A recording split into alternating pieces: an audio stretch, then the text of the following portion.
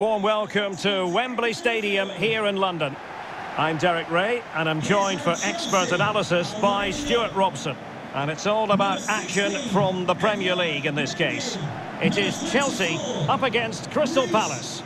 Yes, thanks as always, Derek. We've got two good teams here, so I'm anticipating a really good game. The atmosphere is electric inside the stadium before kick-off, and hopefully we're not disappointed.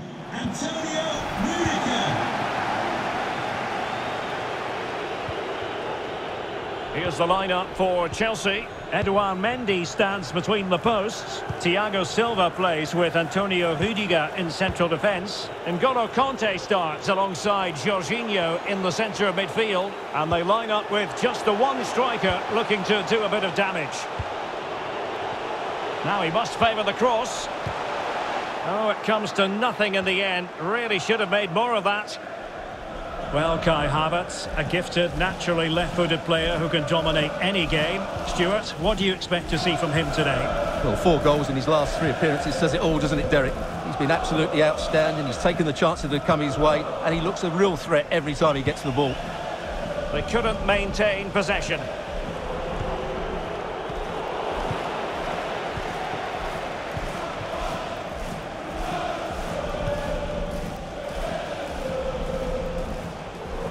They know they need to stop him. It opens up for Havertz.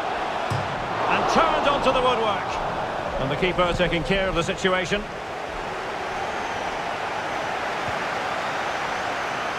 Jorginho.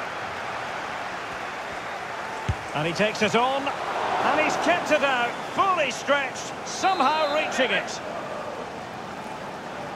Elects to go short. And played in. And still dangerous. Mount.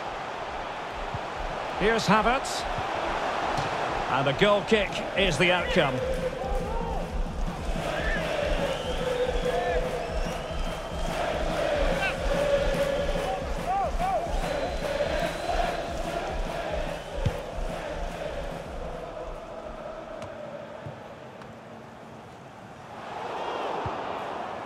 And that's an important intervention.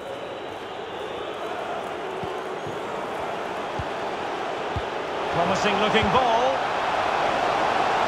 Brilliantly blocked. It might still be problematic. Well, no damage done.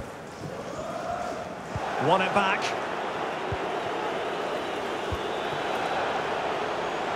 Zaha. Well, possibilities in the centre. Zaha sends it back. Real chance. And there it is, the opening goal. 1-0, and they'll feel they deserve it.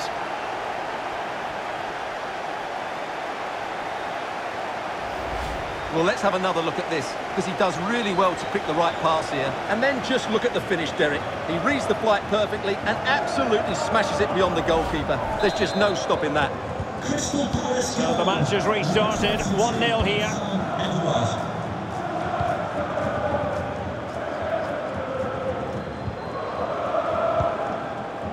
Jorginho. It's with Marcos Alonso. And space for the cross. Great challenge, he got nothing but ball. Wilfried Zaha.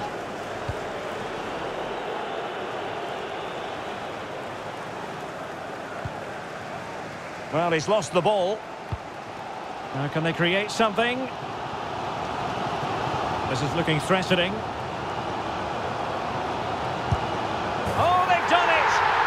For Chelsea, who've got themselves on level terms.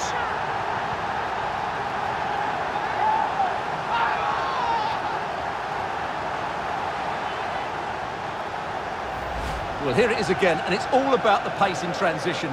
They're so quick to get out from the back, and then the finish is fairly simple in the end. That's a good goal.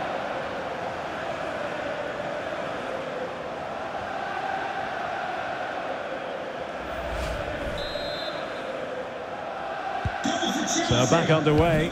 One goal apiece here.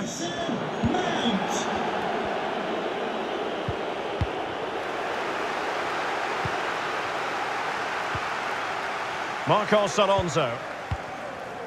On to Jorginho. Well, a pretty ordinary challenge. Well, there is a very alert goalkeeper for you. Pull from the keeper, and they'll come again. Havertz! And throwing himself at the ball. They take it short. It's a nice-looking ball. The game has been turned on its head. They have never stopped believing, and now they sense victory.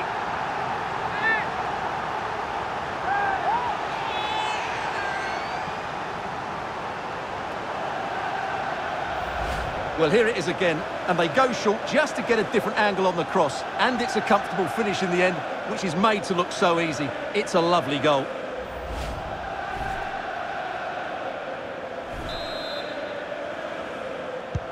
So back underway at 2-1. Tight contest here.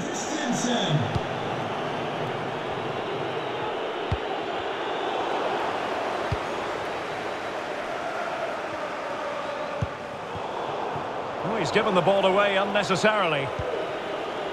Well, adding up all the stoppages, we will have two extra minutes.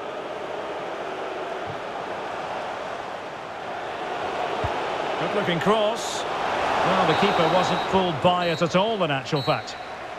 That is that for the first half here. You certainly have got to give this man high marks for his work up to this point, Stewart. Well, I really liked his first half display. He was certainly the most influential player on the field, and I'm expecting more of the same in the second 45 minutes. So they get the ball rolling in the second half, and Chelsea hoping to build upon a largely positive first half showing.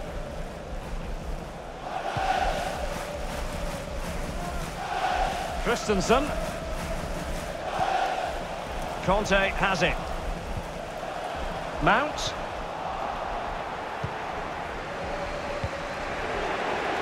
And Edouard with it. Well, the counter chance looks very real. Odsonne Edouard. He has time to play it over. Can he convert? Well, the keeper is happy. The bar was there. No problems grabbing hold of that one. Well, they were so close to the equaliser there. They're certainly a bit unlucky, but they need to make more of these chances.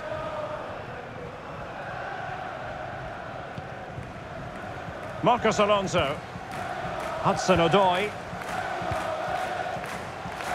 Is it going to end up being productive for them? Kanté. And Palace with the ball again.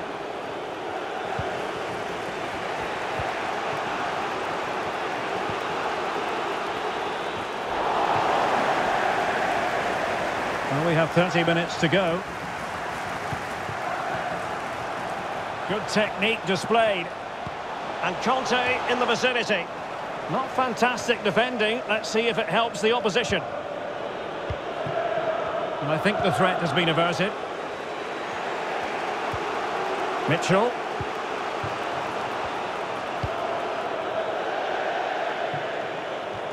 So a throw in to Chelsea. So a personnel change then. Mount.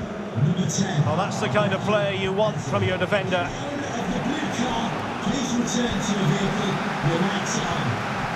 Mount. Havertz!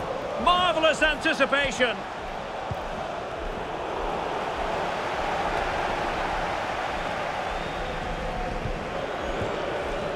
Joel Ward.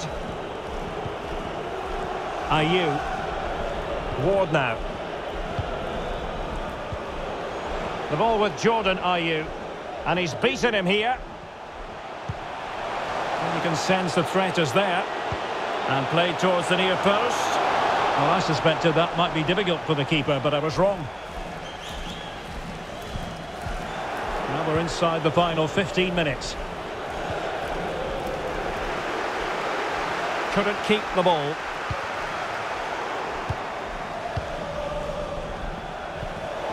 Encouraging move from Crystal Palace. Has a go! Oh, terrific piece of goalkeeping. Well, they have elected to go to the bench at this stage of the game. Now sending it in. Simple save, really. Well, pressing really high.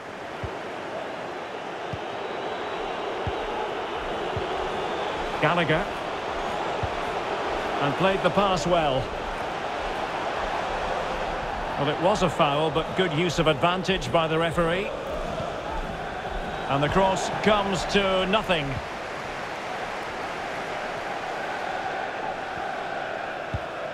Havertz. Kanté has it. So here we are nearing the end of the contest. Can Chelsea turn a lead late into the game into an official victory? Stewart, how would you critique their performance in this one? Well, it's been a decent performance from them. They've certainly played the more expansive football and had the better individuals. Can they now just see this through? Not long left. Or do they have it in them to level this?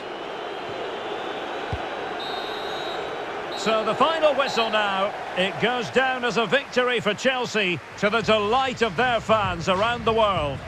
Yes, Derek, there wasn't much in it, to be honest. Really competitive game with chances at both ends, but they probably just about edged it overall and deserved the result in the end. Well, I think it's fair to say he'll be happy with his own contribution in this game, Stewart. Well, he was a major reason why they won today. He was so reliable and he inspires those around him.